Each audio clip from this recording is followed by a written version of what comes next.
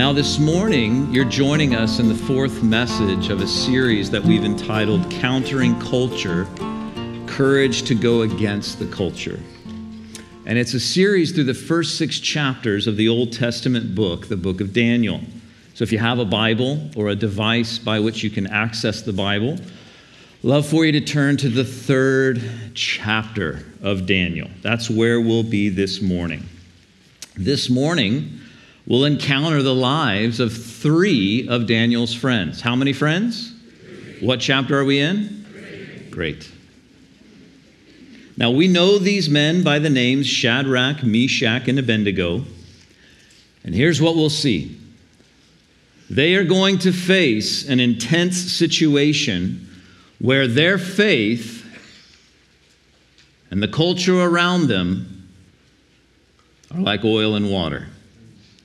Did you know that you lived in a time in this country in the 40s and 50s where the cultural values and the biblical values that we share were a little bit like peanut butter and jelly? They somewhat aligned. Did you recognize now that where you live it is no longer like that? The values of the world and the values of God's Word are a bit more like oil and water. So, last week, as we finished chapter 2, we saw how Daniel, how Daniel processed and responded when he was confronted with an unexpected, an uncertain, and a scary situation. Anyone ever had one of those this week? That was unexpected. Chapter 3, where we are today, we'll see how Shadrach and Benny, that's how we'll call these boys for today, how they process, how they respond in an unexpected and uncertain and a scary situation. Why? Because by nature of being a child of God, their values do not align with the world's values. Therefore, culture and faith collide oil and water. So, how do they respond? That'll be what we learn this morning. Let me ask you a question What chapter are we in today? How many men are we considering today?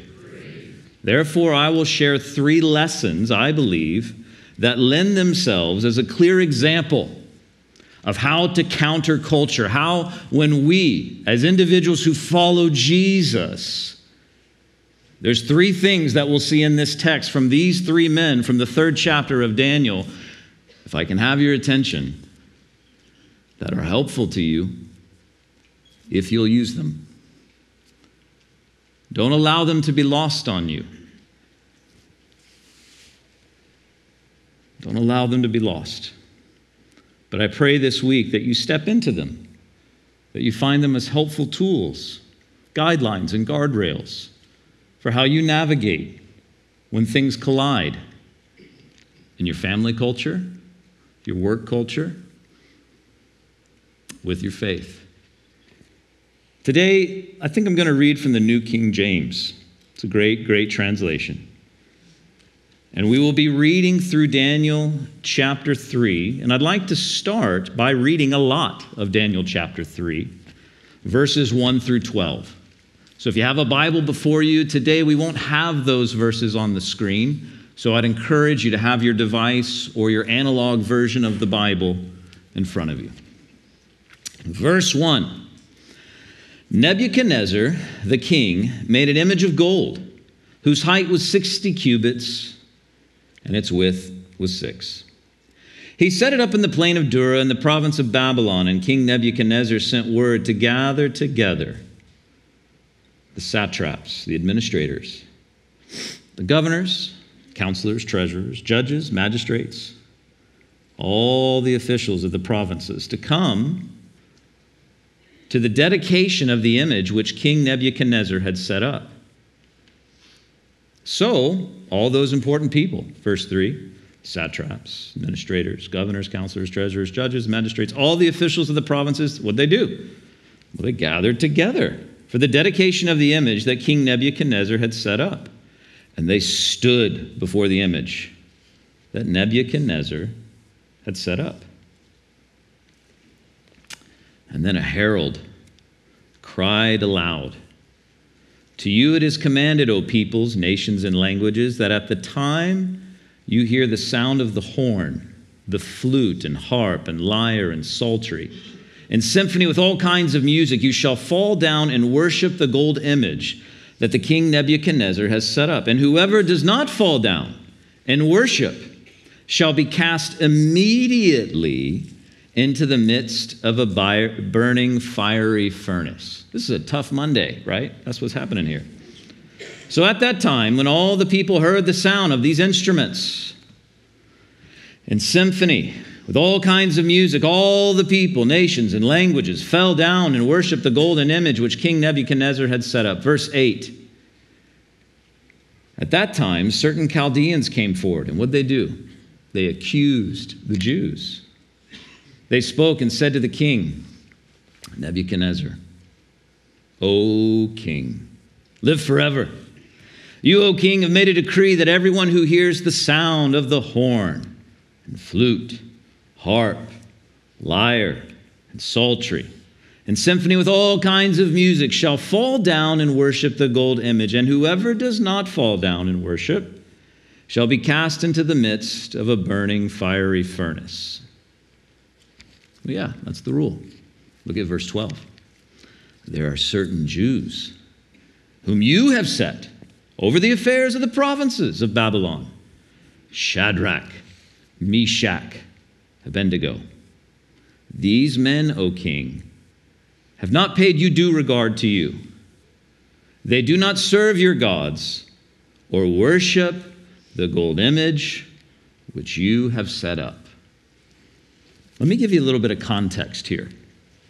Earlier in the book, we were first introduced to King Nebuchadnezzar. Believe it or not, this is not a fairy tale king. You can dive into the books of history and read about him.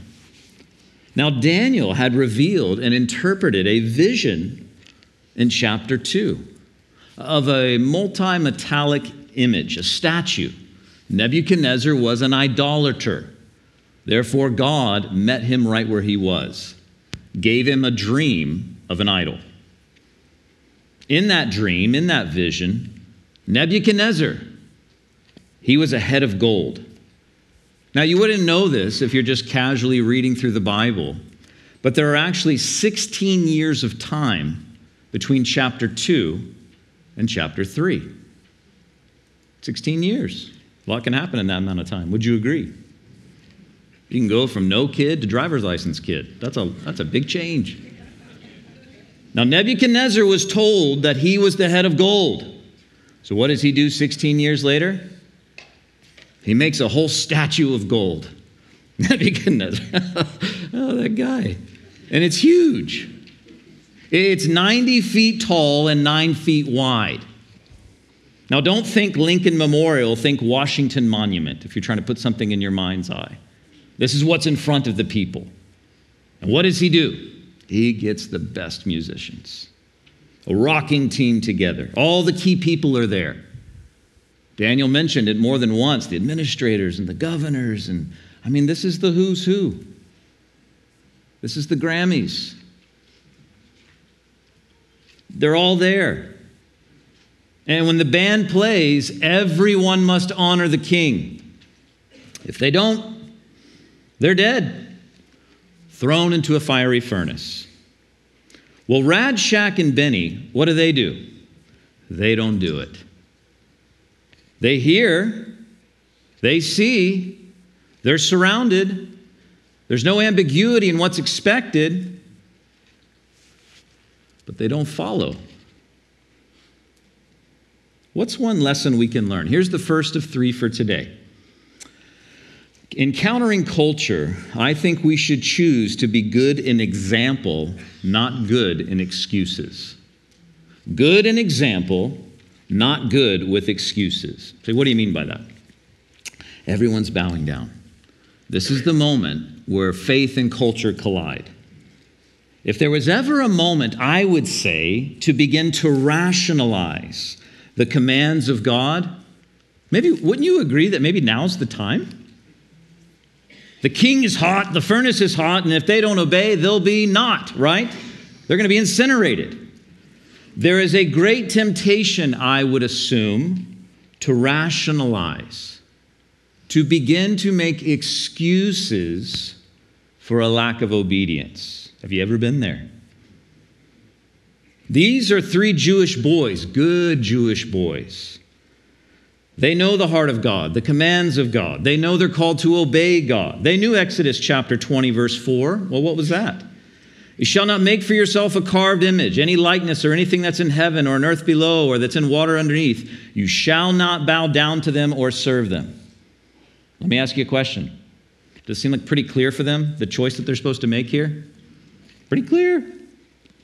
But set yourself in their sandals. They're standing there with the heat of blazing, fiery furnace in their face. And they've got everything to lose everything to lose. Set yourself in this story. They have been there now for close to 20 years. These are not unknown men. They've got a good reputation, they've got a good position, they've worked hard. They probably have a little bit of a 401k saved, right? They may even have a boat by now. And everything's up for grabs. If we follow God now, we will lose everything we have. They could have been thinking, huh, well, maybe this is a perfect scenario for situational ethics. Anyone ever heard that term? In this situation, it would be all right to bow down because we'll get killed if we don't. And certainly, God would not want us his young men, whom he has raised up, to die, would he? Of course not. In this scenario, it must be okay to go against what God wants. Or maybe they could have made a cultural case for it. The Babylonians aren't going to understand the laws of God. We don't want to offend the culture and ruin our opportunity for a witness. Here's what we'll do we'll bow down now so they'll listen to us later. Besides, no one we know is even going to see this. Maybe they could have rationalized with God's forgiveness. Ever been in that place? Could have said, We have a loving God who is slow to anger and quick to forgive. We'll just bow this one time. One time. God will forgive us. The Babylonians, they won't. so in this situation, this makes sense. They could have been tempted to make a silent protest. What is that? Well, we'll kneel on the outside, but in our hearts, we're worshiping the true God. In our hearts, and God knows our hearts, God understands. They could have come up with a thousand different excuses. I just got to be honest with you. I can do the same thing. How about you? Reminds me of that famous phrase by Benjamin Franklin the one who is good with excuses is seldom good with anything else. In your life, it will serve you well to understand the difference between an explanation and an excuse. And don't confuse the two. There's always an explanation for a reason, but the one that's good with excuses Let me share this. You have potential. I believe God's gifted you, He's wired you, He's called you, He's resourced you for, for good things, for His glory and the good of others. Listen to me. You have potential, but potential has an expiration date. If you don't actualize that potential through the obedience to what God's placed upon your heart, you will sit on the shelf. And the one who is good with excuses will seldom be used by God. What is he looking for? Well, I, I, think like this Joshua 24, 14 through 15, Joshua said this Choose tomorrow who you will serve. Don't make a decision right now. No, no, no. Choose this day who you will serve. What about 2 Corinthians 3? You are our epistle written in our hearts, known and read by all men. Clearly, you are an epistle of Christ. What does that mean? Well, some have put it this way You're the only Bible some people will ever read, so be a good translation. When individuals look at your life, your ABCs, your attitudes, your beliefs, and your choices, do they go, that, that looks like a little Christ right there, a Christian? May we lead lives of example, an example of trust, an example of faith, an example of love. Forgiveness is hard when you've truly been offended, truly been wounded, and not by accident, but on purpose. But forgiveness is the pathway to freedom if you've been hurt, if you've been wounded, if you've been abused, if you've been neglected. And there will always be a reason to offer an excuse of why you and I can't forgive, why we can't move on. But please do not confuse what an explanation is in juxtaposition to what an excuse is. God's desire for you is that you walk in freedom. Forgiveness is the pathway to freedom. But the choice is yours. Will I walk in freedom or will I not? Here's the first uh, helpful statement from chapter 3 Choose to be good in example, not good with excuses. Well, King Nebuchadnezzar finds out that Radshak and Benny aren't bowing, so what happens? Let's read verse 13 through verse 23. Well, Nebuchadnezzar was so understanding. Oh, in rage and in fury, he gave the command bring Shadrach, Meshach, and Abednego. So they brought these men before the king. Nebuchadnezzar spoke. Man, listen to this. Don't miss this. The plot kind of thickens here. Is it true, Shadrach, Meshach, and Abednego, that you do not serve my gods or worship the gold image which I have set up? Now, if you're ready at the time you hear the sound of the horn and flute and harp and lyre and psaltery and the symphony and all kinds of music, if you'll fall down, here's the second chance. If you'll fall down, if you're ready at the time you hear this sound and worship the image I have made, good. Well, let it go, boys. But if you do not, if you do not worship, you shall be cast immediately into the midst of a burning fiery furnace. Listen to this statement. Doesn't it sound like Goliath a bit? And who is the God who will deliver you from my hands? Wow, this is intense. Shadrach, Meshach, and Abednego answered to the king, O Nebuchadnezzar, uh, we have no need to answer you in this matter. Wow. No need. Okay, verse 17. If that's the case, our God, whom we serve, is able to deliver us from the burning fiery furnace, and he will deliver us from your hand, O king. But if not, let it be known to you, O king, we do not serve your gods, nor will we worship the gold image which you have set up. Well, Nebuchadnezzar was full of fury the expression on his face changed towards Shadrach, Meshach, and Abednego and spoke and commanded that the heat they furnace seven times more than it's usually heated. And he commanded certain mighty men of valor who were in the army to bind Shadrach, Meshach, and Abednego and to cast them into the burning fiery furnace. Then these men were bound in their coats, their trousers, their turbans, and other garments and were cast into the midst of the burning fiery furnace. Therefore, because the king's command was so urgent and the furnace so exceedingly hot, the flame of the fire actually killed those who took up Shadrach, Meshach, and Abednego. And these three men, Shadrach, Meshach, and Abednego, isn't it interesting how often these names are mentioned? It's like you want to remember these guys. Fell down into the midst of the burning fiery furnace.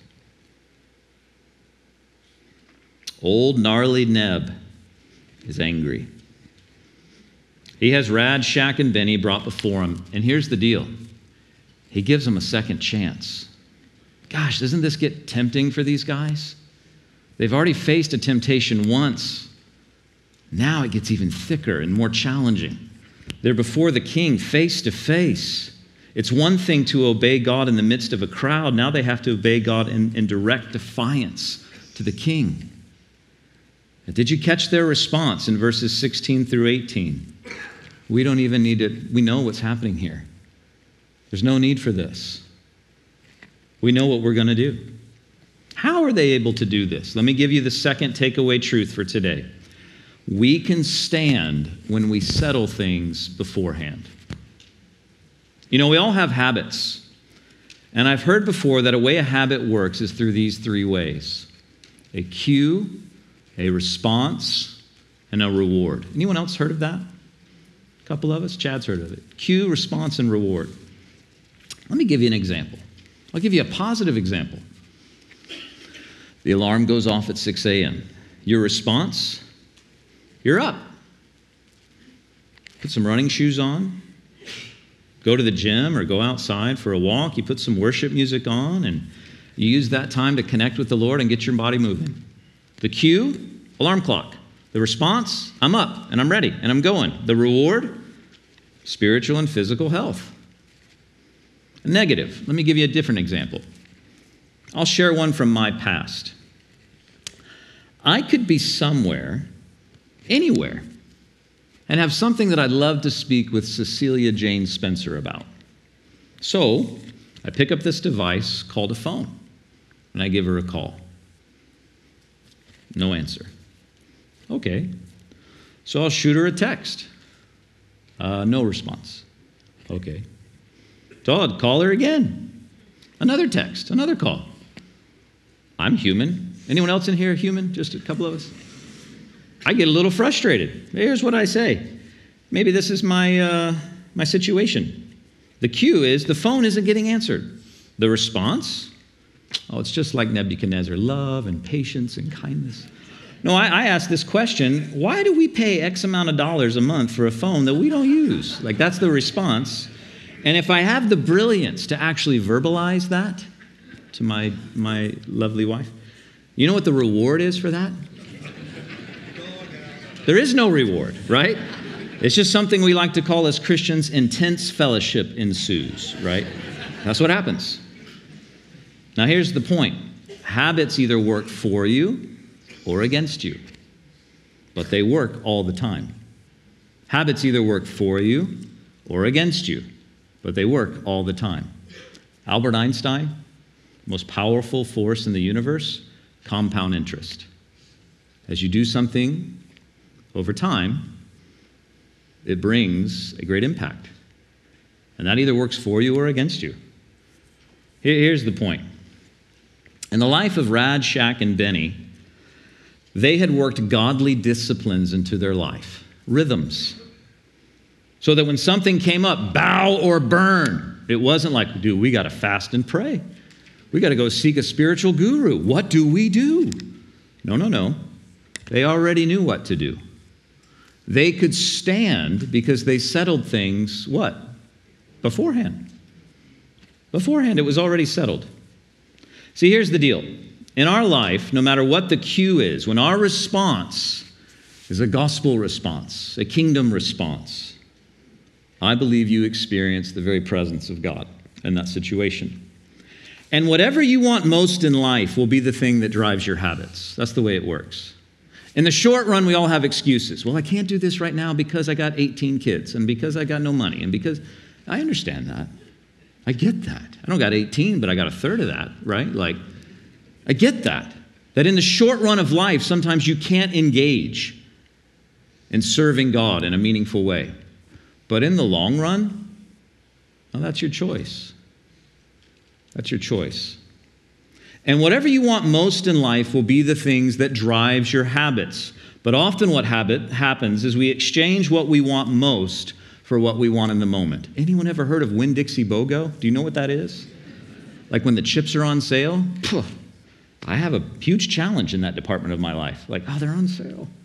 Maybe this is the Lord. You know, like, it's not the Lord, it's marketing, and they know how to get you. They got me.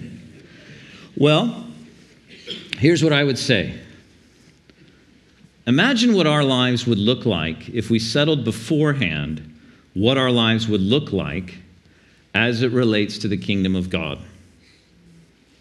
We can stand in the face of compromise and difficult situations when we settle things beforehand. They're settled. Already know this is a done deal. There's no question about this. Say, what do you mean by that? Let me give you the 10 4 1 of what is settled at Coastline Calvary Chapel. Say, what do you mean by that? The 10 4 1. Number one, we believe that new life is found in Jesus. Anyone else believe that? Oh, good, 18 of you. Uh, maybe, maybe there'll be 20 of you by the end of this. That'd be awesome. Two more people get saved and they believe that. New life is found in Jesus Christ. For God so loved the world that he gave his one and only begotten Son, that whosoever would believe in him would not perish, but have everlasting life. John 10:10, 10, 10, Jesus said, The enemy comes to steal, kill, and destroy.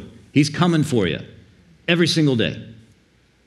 He's coming for you to steal from you, to kill, to destroy every single day. But Jesus says, I have come that you might have life and have it more abundantly. New life is found where, church? It rhymes with Jesus. That is settled for, for Coastline Calvary Chapel. That's not a question for us. That is where new life is found. There's also something else that's settled for us our four core values. Four core values. Yeah, remember I said 10 4 1? I just gave you the one new life in Jesus. Here's our four core values or our four core mission things or whatever you want to call them life, already talked about that, new life in Jesus, love, community, and purpose. Well, what is that? The gospel is where you find new life in Jesus. And then there's these things in Scripture called the Great Commandment and the Great Commission. The Great Commandment of God is that you would love Him. He wants to be with you. He doesn't want you to work for Him, He wants you to worship Him. And the day that you realize that your work is your worship is the day that work has final meaning for you. Work does not define your value. Work is your platform through which to worship God, through the gifts and talents and abilities and skill sets that He's placed in your life. When you stray from that, work becomes hard. Doesn't mean it's not challenging every day. But God's desire for you is that you would love Him that's our, our second pillar. Life is found in Him, and we just want to be with Him. It's the great commandment. And then to love one another.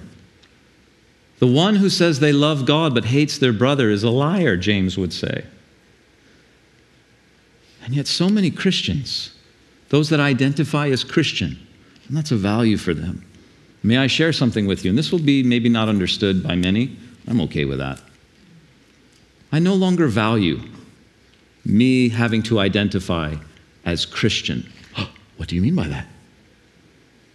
I value being identified as one who follows Jesus, because that is the original way.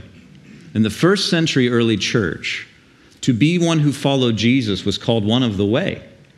I follow Jesus. And you know what happened as people started to follow Jesus? Other people started to identify these individuals as Christian. See, the identity of Christian should be something that others say about you, not something that you have to say, no, I'm Christian. No. Allow your choices and your character dictate your identity in front of others. Because, see, here's the deal. If you'll make your character that which you go after hard and not your reputation, your reputation will eventually take care of itself. You cannot control what others say or think or believe about you. You cannot but you can control your character. And at the end of the day, at the end of the day, not with everybody, because people are crazy. Have you ever met people? Like, your character will eventually define your reputation, it'll speak for itself. And so, the four core missions of this church that are settled life is found in Jesus. Life is about loving Him. Life is about loving one another, connecting together, being in fellowship. And life is about living on mission. This is the good life. You know this about me. I have this addiction to alliteration. You know this. This is the good life. Gospel, gather, group, go. Life is found in Jesus, gospel. When we gather together, this does not exist for the one who is lost nor the one who is saved. A Sunday morning worship service exists for God. We're here to sing to Him, to learn from Him. But if it's about Him, the disciple and the one who doesn't know Jesus, they tremendously benefit from it. But have you met people who think that church is all about them? Have you met those people? I didn't like the music. It's not for you. A music's for him. Well, I don't, I don't like these programs. Oh, these programs are about him. They're meant to benefit. But church, a gathering, this is what you're doing right now. There's, there's 10 pieces to it singing, praying, preaching, learning, serving, giving, communion, community, mission. These are the handles by which we step into a gathering and love God. Because love is an ambiguous term. Have you, have you ever discovered that in, in the world that we live in? Like every other song is written about it, but no one seems to know what it is. I think it's very clear that love is more about devotion than it is emotion. Love is more about choice than it is infatuation. And I believe you can love God rhythmically. You can choose to. You can sing to Him because He deserves it. You can learn from His Word because you love Him. You can be in community because He's called you to do it. You can serve Him and give to Him as evidences of your love for Him. These are not mystical, these are not hard to understand. These are things that you can choose to be good an example in, not good in excuses about. The good life is you, about the gospel. You gather. But listen, the goal of a church is not that everyone knows everybody. The goal of a church is that everybody is known. In a gathering, I mean, just take three seconds, look around. Are you going to know all these people? But if you get in a group of eight to 10 people, there you go. You can be known. The gospel, gather, group, and go. Go. Go into your world and live on mission with the good news of Jesus. This is the good life. This is the God life. And these men had settled beforehand what they were going to do. And you got to love and respect and learn from how Rack, Shack, and Benny respond in a compromising situation. You see, if you look at verses 17 and 18, they do not doubt God's ability, but also, please listen to this, they do not assume to know God's will. This is a gold and a pearl of wisdom for my life and yours. Never doubt God's ability and never assume God's will. Sometimes we can get it wrong. We don't think God has the ability, but we think we know exactly what God is doing. And sometimes children die I reached out to a dear friend this week whom one of my daughters is named after. And this week was her Heaven's Day. I said, Hey, so and so, so and so, just thinking of and praying for you. And it's probably been what? How long? 10 years ago that she passed. Do I think that God willed that into existence? That no, I think that we live in a world that was created good, read Genesis, and then sin entered the world. And God is going to remake this world and make everything right once again. But now there's death. Now there's challenge. Now there's sorrow. And in God's infinite wisdom and discernment, He allowed that little girl to move from earth to heaven at age eight. That's a hard thing. It's a hard thing. How do you navigate that? Never doubt God's ability, but also never assume to know God's will. I know this can't be God's plan for this thing to happen. I'm just here to say, you don't know. You're on this side of eternity where, where the future is fuzzy and behind us is a little bit more clear. But you do have clarity of who God is and what He's able to do. So, what does it look like to counter culture and actually follow Jesus? Choose to be good in example, not good with excuses. You can stand if you settle things beforehand. Well, when Nebuchadnezzar hears of all this, he's furious, he binds them, gets the best of his men to throw them into the fire, but in the act of throwing them in, they die. And look at what happens in verse 24. Then King Nebuchadnezzar was astonished. He arose in haste and spoke, saying to his counselors, Did we not cast three men bound into the midst of the fire? They answered and said to the king, True, O king. Look, he answered and said, I see four men, and they're loose, walking in the midst of the fire, and they're not hurt. And the form of the fourth is like the Son of God. then Nebuchadnezzar, he went near the mouth of the burning fiery furnace and spoke, saying, Shadrach, Meshach, Abednego, uh, listen to how he changes his tune. Uh, servants of the Most High God, come out, come, come here. Then Shadrach, Meshach, and Abednego came from the midst of the fire, and all those important people. They gathered together, and they saw these men on whose bodies the fire had no power. Listen to this. The hair of their head was not singed, nor were their garments affected, and the smell of fire was not on them. Have you ever been to the melting pot? I went there the other day. We used to go there every around this year because it's our my wife and I's uh, anniversary of engagement, and it's also her birthday, and she likes the melting pot.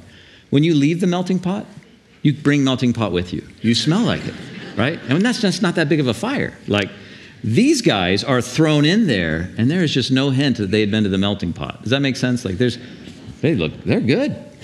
Well, here's the third truth. His faithfulness is greater than any fire. And let me add this to it. And it's in the fire. Please listen to this. It's only in the fire where you get to own his faithfulness. Oftentimes we think the fire is not part of God's plan. Oh no. Read the Bible. They went into the fire knowing that God could deliver, but weren't sure if he could.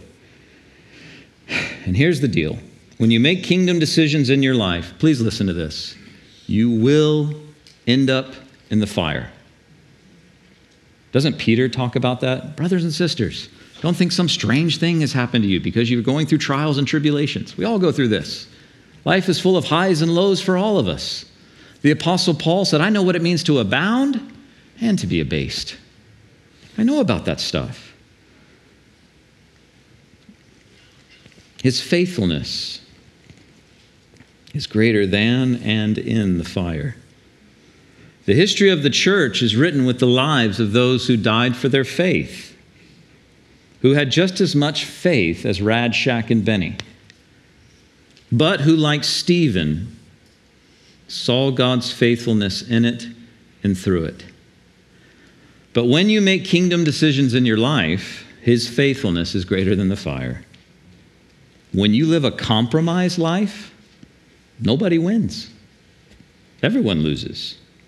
See, whatever you trusted or whomever you trusted that leads you into a compromised life, they're an idol. An idol never produces what it promises. And you know my little seven alliterated things about most idols in life. Not all, but you've heard these. When you take a good thing and make it a God thing, it robs the good thing of the thing that God intended it for. Say, what are those good things? See if I can remember them salary, status, sex, substance, situation, stuff, and sport. These are not bad things, these are good things. But when you make them your God, they rob you of the good that God intended them for. See, those seven good things are meant to bring an element of gratification to life, but they are incapable of bringing satisfaction to your life. satisfaction of soul. Let me just share this with you. It's just my opinion as a 42 year old guy. You only get a taste of it on this side of eternity. You're never fully satisfied until you finally go to the promised land. But where do you taste satisfaction? Where do you see? Taste and see that the Lord is good. That's where you find satisfaction of soul. But it's like manna. If you just say, Well, I got saved in 1972, I haven't talked to Jesus since. Well, bro, there's no way that the wellspring of life is just feeding your soul. You need to come to that living water every single day. But one day, and I can't wait for that day, one day, we'll see the face of the voice that we followed through this life. And I can't wait for that day. But here's the reality God is faithful. But sometimes you have to walk through the fire to allow Christianity to move from the theoretical to the actual. And that's what God's doing. Well, let's wrap this up. He saw that the fire hadn't touched them. The ropes, that's what bound them, they were gone. And what does he say in verse 28? Nebuchadnezzar spoke, saying, Blessed be the God of Shadrach, Meshach, and Abednego, who sent his angel and delivered his servants who trusted him. And they have frustrated the king's word and yielded their bodies, that they should not serve or worship any God except their own God. Therefore, I make a decree. Isn't Nebuchadnezzar intense? Look at verse 29. He's still a little rough around the edges. I make a decree that any people, nation, language, or speaks anything amiss from the God of Shadrach, Meshach, and Abednego shall be cut in pieces. Good Lord. And their houses shall be made an ash heap, because there is no other God who can deliver like this. Everyone's still in process in their sanctification, right? And then the king promoted Shadrach, Meshach, and Abednego in the province of Babylon. God gets the glory and the people are set free. Three lessons this morning about lending themselves to countering culture Choose to be good in what church? Good in, not good in, good. There's about eight of you that got it. I hope this week that that serves you well. Here's the second one we can stand when we settle things beforehand, and His faithfulness is greater than the fire, and it's in the fire that you actually get to know His faithfulness. So don't run from the fire.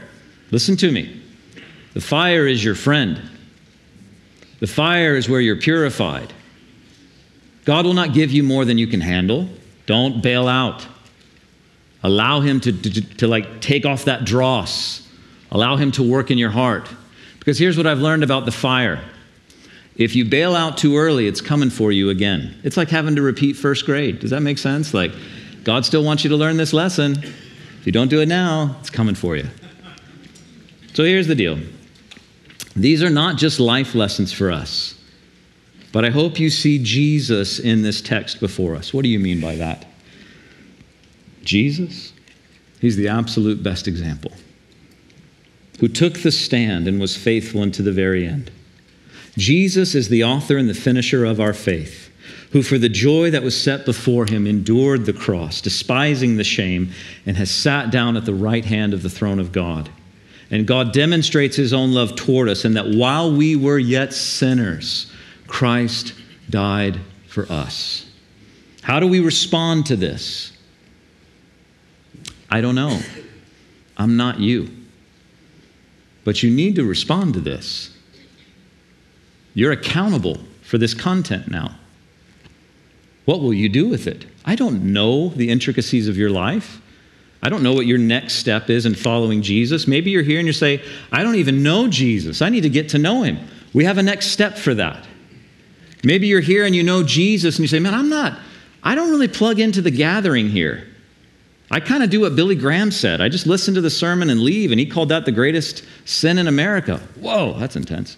Like, I don't serve here, I don't give here. I just kind of come here every once in a while. Well, let's move forward. Take your next step. Maybe you say, Man, I know Jesus, but you know, I've never publicly professed him. The biblical way to do that is to get baptized. Like, we would love as a church staff to be a part of you enjoying the life that God has for you. That new life in Jesus doesn't end with a salvation prayer, Someone once told me this that the grace of God, walking with Jesus, salvation is like a loaf of bread. Salvation is just the first slice. There's so much to life as a Christian. What is your next step? How do you respond? I think we're always in this place of realizing and recognizing who God is, repenting of sin, receiving His grace, and releasing control of our life over to Him. I think we're always in that place of confessing with our heart and believing, confessing with our mouth and believing in our heart, Jesus, your Lord. So let me share this last thing with, for you, and then Rob's going to come up and share a clear next step. Tomorrow you have a day off, most likely, right? President's Day, some of us? Some of us say no. Some of us have every day off, you know, like. But the church staff has tomorrow off. The school staff has tomorrow off. Some of us have to travel down to Merritt Island today to go to a regional Florida conference that we do every year. However, in the last couple weeks, we've made an adjustment to the staff culture. On Monday mornings at 9 a.m., we gather in this same place that you do to worship. Why? Because sometimes when you work at a church, you work at the church. Does that make sense? Like sometimes there's people that facilitate the things that we get to enjoy that they themselves don't get to enjoy. So on a Monday morning, we gather together and we do what you do we sing. We learn God's word. We, we watch daily in the word. Has anyone ever heard of that? Some of you? You know, know a little bit about that? It's a labor of love for your church to go through every book of the Bible chapter by chapter. I hope you're using that resource. But we watch it as a staff. And then we do a little bit of popcorn. We don't bring, you know, we don't bring it. How did yesterday go? What could we have done better? What, what things should we be leaning into? And here's what we do. That's why I'm bringing this up. And then we want to pray for you. So you have a Connect card in front of you. Here's something I'm asking. If you have something you would like to be prayed over or to praise God about, we as a staff would love to support you in that. So, in just a moment, Rob's going to come up and share some next steps. The worship team's going to lead us in a chorus and a benediction. But here's what I would ask please don't allow these lessons to be lost on you. Please, please don't just sit here Go, okay, yeah, yeah, yeah, yeah, yeah, that's good, but man, we got President's Day, hurry up. Lean into the next step that God has for you. What is that? I don't know, I'm not you. But I'm assuming that God's Spirit is faithful to speak to your heart. And here's what I know there's always a next step with Jesus. The final step is, well done, good and faithful servant. We've all got a next step. What's yours? I want to encourage you to come and receive prayer when prayer teams are up here. Use that Connect card as a tool to let us know. We would love to be a part of your journey in following Jesus. Because I do believe as you follow Jesus, people are going to say, Are you like a little Christ? Ah, there it is. That's what we're looking for. To go into the world and live on mission with the gospel of Jesus Christ.